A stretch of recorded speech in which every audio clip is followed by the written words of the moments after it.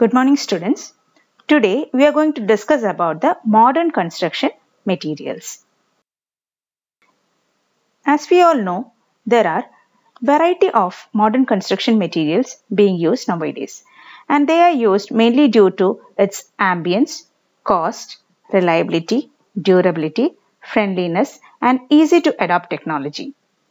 Some of these materials are architectural glass, ceramics, plastics, composite materials, thermal and acoustic insulating materials, decorative panels, waterproofing materials.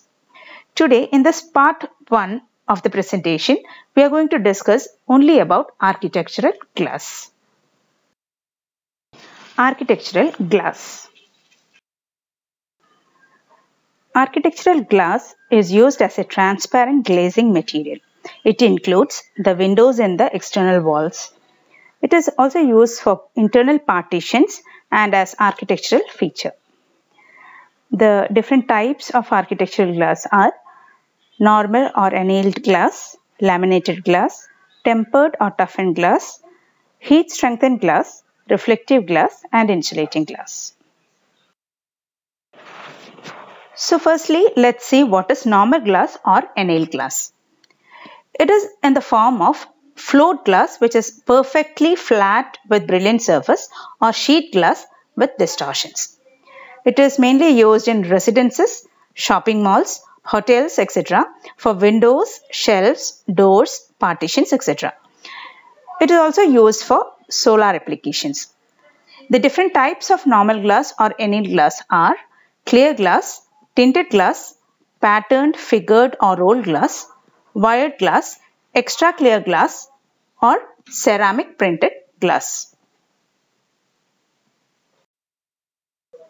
Clear glass. As you can see from the figure, they are clear and transparent with greenish tint. The greenish tint is mainly due to the presence of impurities such as iron. These are used in doors, windows and for solar applications. Next is tinted glass. They are colored by addition of metal oxides into molten glass. It reduces eye strain. A tint like green allows visible light but cut out infrared radiation. It is used in doors, windows and partition. Next is patterned, figured or rolled glass. They are decorative and translucent glass with figures or patterns on one face. They are fragile and less convenient to clean. They are used in interiors of buildings, opaque glazing like bathrooms. Next is wired glass. These type of glasses are incorporated with wire mesh. It has fire protection property. They are used when fire protection is required for windows, doors, partitions, etc. Next is extra clear glass. These type of glass are extra clear mainly because they are free from impurities such as iron. They have high light transmission. They are used for display of jewelry, watches, crystal bar, etc. in showrooms. Next is ceramic printed glass. A part or whole of the glass is masked for privacy. They are not affected by moisture, oil, soaps, chemicals or detergents. They are used in shower installations, partition walls, etc. So till now we have seen the various types of normal glass or annealed glass. Now the second type of architectural glass is laminated glass. It consists of two or more layers of glass with one or more layers of transparent and specially treated polyvinyl butyl or PVB sandwiched between glass layers. When the glass is broken, fragments tend to adhere to the PVB. It reduces risk of injury. It also acts as a noise barrier. It resists bullets or small explosions. It is used in office buildings, hotels, museums, airport terminals, recording studio, high security places, etc. The figure here shows the crack pattern in laminated glass as compared to the other glasses.